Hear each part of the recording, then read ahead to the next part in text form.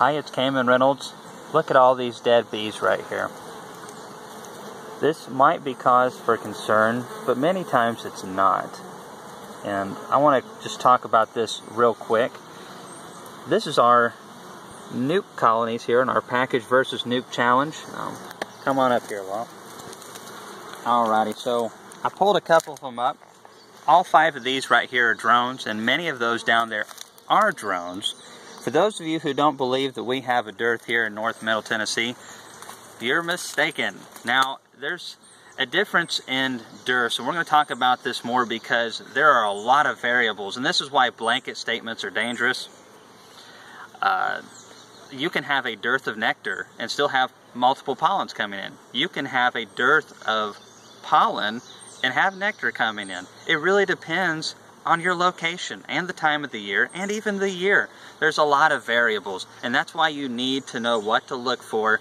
You need to be able to tell by looking at your brood if they're getting the nutrition that they need. You can even have a pollen coming in, a one type of pollen coming in and the bees still can't raise good brood off of that because some pollens by themselves are not a sufficient source of protein. Corn pollen, sorghum pollens, types of sunflower pollens, even dandelion pollen isn't really that good by itself and everyone praises the dandelion on how special it is and hey, it can be really special up north, so I hear. Down here, it's overrated. Uh, I see my bees on dandelions every now and then, but we have, during dandelion season, we have dead nettle, henbit, we have uh, French Phacelia. We have so many other types of things going on. Our bees don't even hardly touch dandelions. And I've, I've seen the pictures from up north, so either you have a different type of dandelion or the type of weather, whatever it is, your dandelions up there seem to be a lot more vigorous than ours. Who knows? There's a lot of variables. So you really got to learn your area, and uh, that's where you know, I can only help you so much. North Middle Tennessee, I can help you guys out to a degree. But there's also another variable, and that's how many hives there are in one location. I've got 80 hives here, and I've got 20 odd colonies down the road. We got drone colonies, we got mating nukes, and then I know of four other beekeepers uh, within about a four mile proximity of me, and that's just the ones I know of. So there's a lot of different things that can impact the pollen that is coming in and the nectar that's coming in. So if you're a, a, guy or gal that only has one or two hives and you live even in this area right here, your bees might not be feeling the same type of stress um, on the nutritional side. And last year, we didn't have the late flow that we did. So just consider the year and just pay attention. And that's why it's really good to get a notebook and kind of write this stuff down and go out and look at your bees and see what they're bringing in. But if you watch these bees with the camera, there's going to be no pollen coming in right now. Zilch.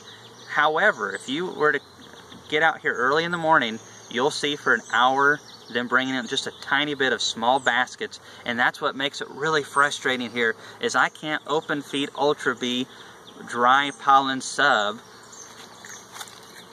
Get away from my wife, that bee. And uh, you can't do it because if they bring in just a trickle of sub like that, or sub, pollen, they will not open feed dry pollen sub, which is really aggravating. That's why we feed the patties, because it makes a difference. So just because you see all these dead bees down here does not mean that you have uh, some type of poisoning or stuff. I kind of gone the long way around. This ended up being more about the dearth than it was about those dead bees what you need to know about those dead bees down there, those, I'm starting to sound like my wife. oh boy, I'm in for it. So, uh, boy, I lost my train of thought. Train's derailed.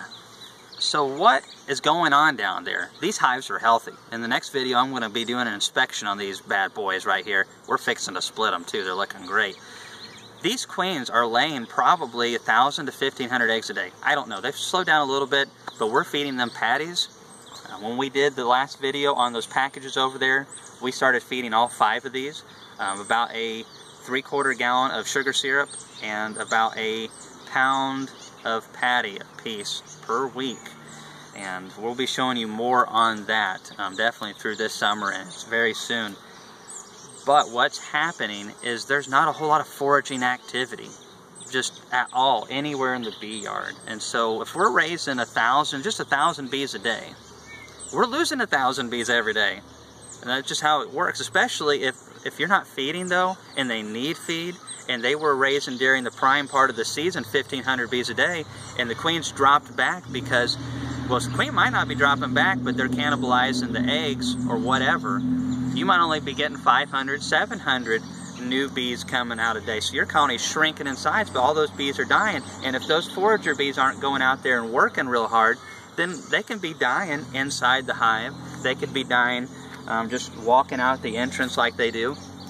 I've seen it several times where the bees will grab a dead bee inside the hive and they'll fly away and drop it. I guarantee you if this was mowed or a concrete area out here, you would just see bees, bees, bees, and out the one bee yard you see in some of my videos where we have the, the big concrete pad that used to be like a uh, garage of some sort, um, there's dead bees all over that thing. So it's just, there's so many variables. Um, just because you see a bee on its back or 10 bees or even 100 bees dead with their tongue sticking out doesn't mean that because your neighbor went and spritzed some Roundup on some poison ivy that it's going to come and kill your hive.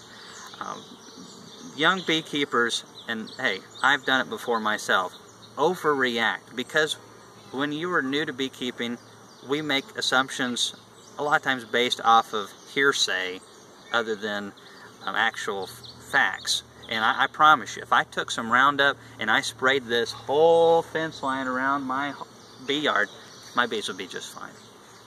And I'm not going to do that. I don't really like this stuff. But I could and my bees would be okay. So, thanks for watching our videos and stay tuned for more crazy bee information.